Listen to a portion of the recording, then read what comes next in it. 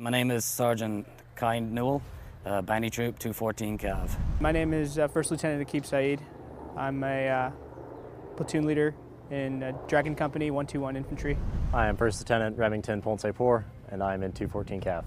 Uh, First Lieutenant Nathan Perry. I'm with uh, the 121 Gimlets.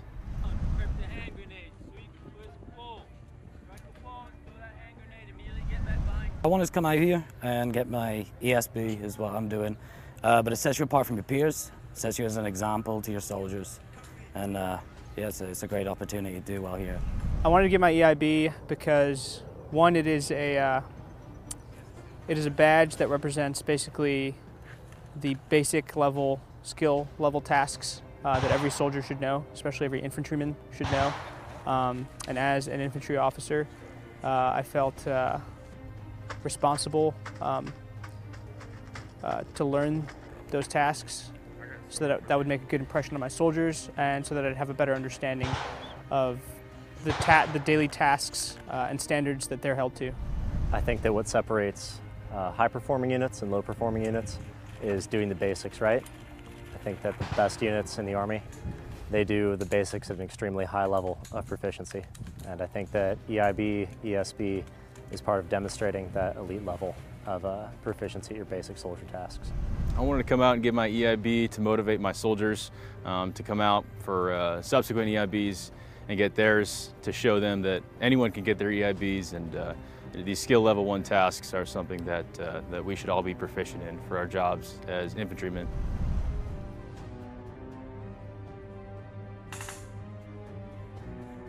Physically, we got enough sets and reps in doing rodeos with 214. Uh, we had multiple days of doing it, and then we were able to come out here and do the full two-week train-up. And uh, also, as, as scouts in 19 Deltas, typically we, we are um, familiar with a lot of these tasks. I stuck with two people. Uh, each day we did a different lane, and every, every single lane we would practice it uh, four or five times over and over again until we got it perfectly. I worked with my partner from Best Ranger, and then another member of our team. And the three of us worked together. So we had a system where we'd go to the lane, uh, we would review the content before we tested, and then we would go through three repetitions, exactly like the testing conditions would be.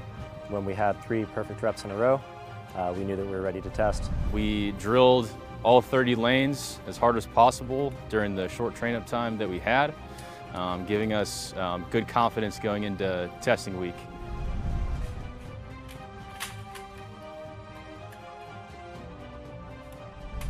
There was a lot of challenging times. I didn't, uh, it's, it's true when they say just take one go at a time at the beginning. I honestly, I didn't expect to make it to right at the end, you know.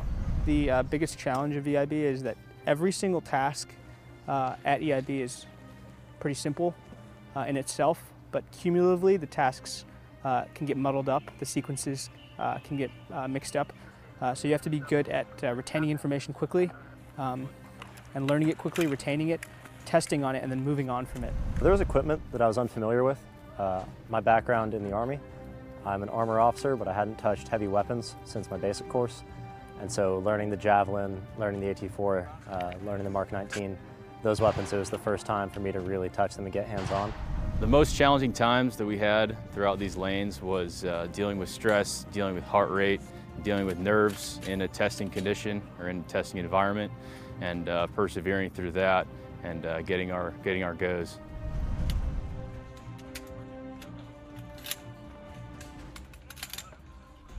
I think it's going to leave uh, a big impression on my soldiers. I think that hopefully they'll strive to achieve the same. And I think, yeah, they should come out and get their badge, set themselves apart from their peers. And uh, you only have to do it once, you know, and if you make it, you, you don't have to do it again. The impression it leads on, uh, leaves on soldiers, one, it's um, it inspires soldiers uh, who don't have it to want to go and get it. And then the soldiers that do have it, it motivates them to achieve even greater things. I hope that as soldiers go through this training, it builds confidence uh, in themselves, that they know that uh, when they get their EIB or their ESB, that they know they are an expert, and that encourages them to act like it, know it, believe it, and then imbue that same mentality uh, in the soldiers that they'll lead in the future. I want to motivate my soldiers to show them that their leadership supports them in every uh, career advancement move that they want to make, show them that an EIB is important for them in regards to their skill proficiency as infantrymen and uh, also for their career progression for the future.